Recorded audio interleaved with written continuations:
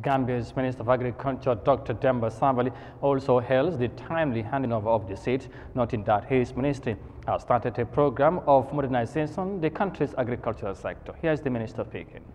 The handing over ceremony of this much needed agricultural input we are witnessing could not have come at a better time. When the ministry as a sector has commenced its transformation agenda of modernizing agriculture as enshrined in the Extended National Development Plan and the sector policy, namely the second generation Gambia National Agriculture Investment Plan, Food and Nutrition Security, GNAP 11, the Gambia Agriculture Transformation Program, and the Agriculture and Natural Resource Policies.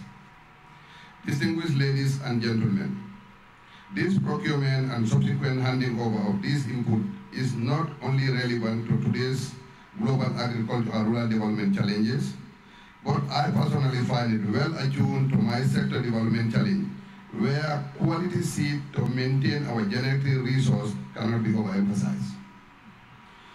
Good quality seed, as alluded to by our seed scientists from the National Seed Secretariat and other experts, is the beginning of the development of any agricultural value chain, without which the farmer will not only continue to experience low yield, but also loss in genetics.